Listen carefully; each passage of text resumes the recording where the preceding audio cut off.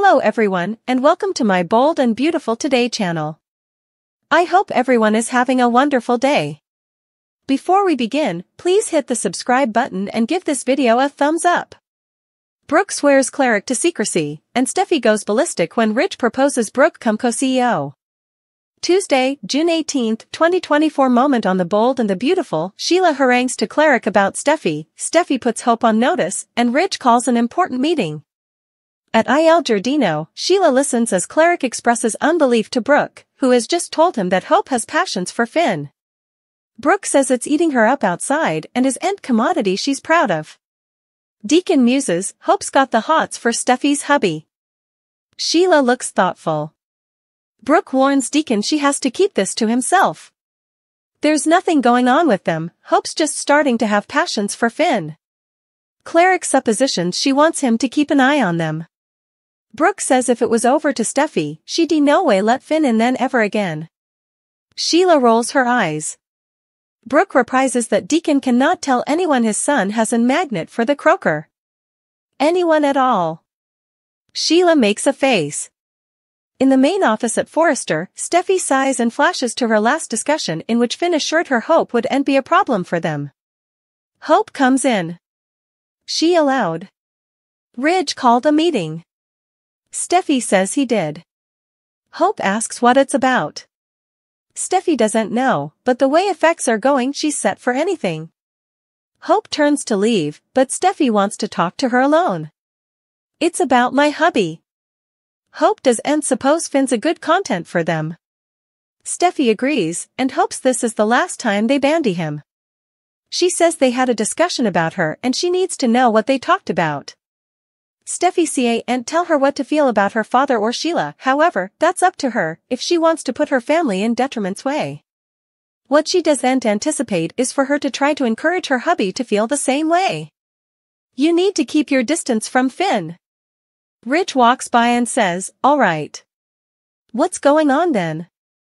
Hope thinks Steffy is overreacting a little bit. Steffy asks, because I am questioning your judgment? Hope does and suppose it's fair to her or Finn. Steffy asks Ridge if he sees what's going on then. Why are you telling me about my hubby? Hope says she's not doing that. Steffy says she is, and she's been doing it a lot recently. Ridge tells Hope he knows she means well, but Steffy's explained why Fincia and be around his birth mother.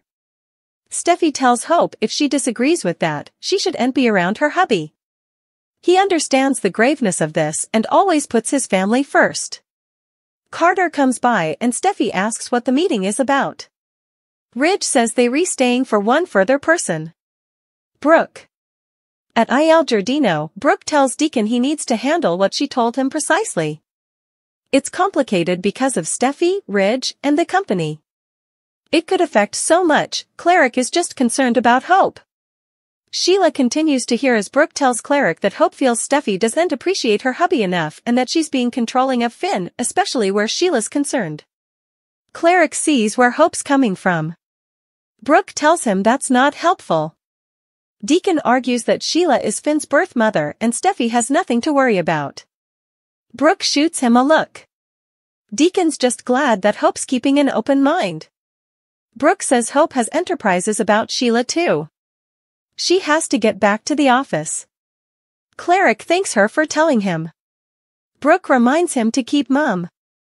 She thinks she got through to her and hopes she LL put an end to her passions for Steffy's hubby. Sheila shakes her head. Latterly, Clark takes a call from Hollis and assures him he LL checked the temperature of the fridge. He also wonders where Sheila is before flashing back to their marriage. Sheila appears and greets her handsome hubby. They spoon and he asks where she's been. Sheila shrugs, nowhere, really, and asks if she missed commodity. Deacon says she didn't.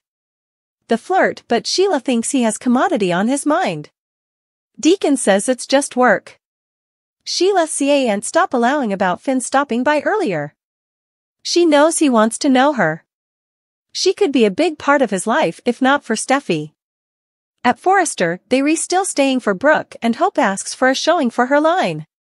Steffy says it's not a good idea and Ridge says Carter will look at the figures. Brooke arrives and apologizes for losing track of time.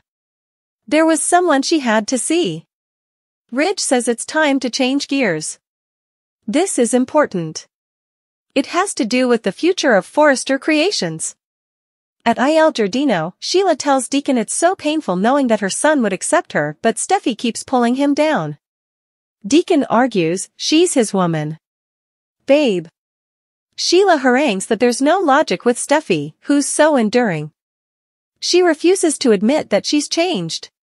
Clarke and Finn have seen it, indeed Hope is willing to show her some understanding. Deacon warns his sprat is end exactly joining the Sheila Carter fan club. Sheila argues she came to their marriage. Deacon warns her against trying to muscle into Finn and Steffy's family. Sheila wonders what her life would be like if her son was with a woman who was willing to give her a chance. At Forrester, Steffy asks Ridge if this is a new issue. Ridge says it's commodity they need to rethink. It's him and who he's in this company. He needs to concentrate on design. Especially with Thomas and his pater. Out of the picture. Ridge loves working with Steffy, and he can't stay to see how she leads this company forward. Hope asks if he's stepping down as CEO. Ridge is stepping up and will still be there if they need commodity. Steffy says the company needs his leadership. Ridge argues if they do and have commodity to vend, they do and have a company. He tells his son that he doesn't want to put her in a position where she drowns, not if they've someone who can help who has been at the company for times. He took the liberty of talking to their biggest buyers and to International and spoke to them about the bedroom line. They were all veritably agitated. Not just about the line, but also the icon behind the line. Brooke gasps, Ridge, you didn't have to do that. He's glad he did because it reminded him of how important she's to Forrester and how happy he'd be if she'd just say yes. Steffy asks, say yes to what? Ridge tells Brooke, I can't let this go. He tells the table, I want Brooke to be on the administrative platoon. Steffy gops, what? She thinks he can't be serious, you want Brooke to be our co-CEO? Ridge doesn't watch about titles and neither does Brooke. Hope thinks it's a awful idea. Carter says the clientele would love it. Steffy asks her father, did you suppose I'd be okay with this? Why didn't you come to me in private? We re a platoon. Brooke and I we surely aren't. She's not going to hear to me, and I am not going to hear to her. I'm not running our family business, Forrester Creations, with Brooke Logan. Sheila Carter tests Deacon Sharpe's fidelity The bold and the beautiful spoilers reveal that Sheila and Deacon were swimming in wedded bliss until John Finn Finnegan, Tanner Novlan, stopped by. Finn's advertisement to Sheila threw her for a circle because she allowed. She was making progress in her relationship with Finn. Still, Steffy won that round. Sheila just happened to walk back in just in time for Brooke to tell Deacon a huge secret that no bone differently was supposed to know. Still, Cleric needs to realize that the walls now have cognizance. Once Sheila gets an idea in her head, there's no talking her out of it. Will Sheila pull Cleric into a plot to break up her son's marriage? BNB spoilers Ridge Forrester drops a lemon on Steffy Forrester Steffy is formerly upset that Ridge sided with Hope Logan. Steffy feels that every time Ridge is with Brooke, the Forresters take a aft seat to them and it's about to be again. Ridge is formerly wanting to revive Brooke's bedroom. Still, Ridge's new suggestion could be just too important for Steffy to handle. Ridge isn't the commercial type, and he wants no part of it. Still, Brooke is a fully different story. Brooke has run Forrester Creations before, and she has a head for business. In Crest's mind, this is a no-brainer because Brooke is the perfect choice to take over for him. Unfortunately, Steffy doesn't agree. The bold and the beautiful spoilers Sheila's fidelity test, Rich surprises Steffy, Brooke responds.